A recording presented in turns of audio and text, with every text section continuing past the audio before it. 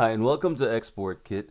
In this example, we're going to take a look at your very first JavaScript export from Figma using the plugin. So be sure to like and subscribe and hit the notification bell for new and upcoming videos. So let's go right ahead and let's get going with the export.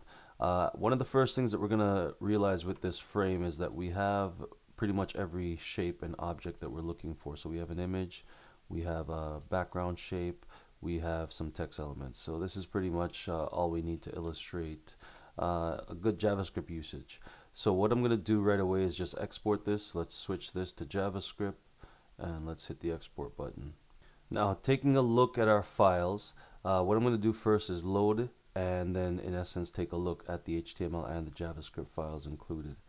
So when we load our JavaScript file, you can see that it pretty much rendered exactly as our frame in Figma. Let's zoom in a little bit. Now there are a lot of little things that we could have done. We could have increased the size of this so that in essence it spanned the entire screen. Uh, let's test it out.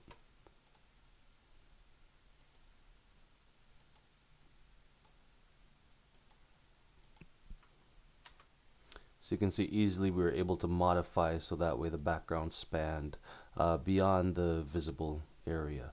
So in essence, we got a direct export. So let's take a look at how this was rendered uh, in the actual code.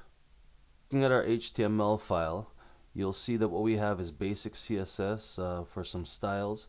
Uh, we're including our font loader and also we're including the JavaScript file for the individual page. Now had we rendered multiple pages, each HTML file would include a separate JavaScript file. So let's take a look at the JavaScript.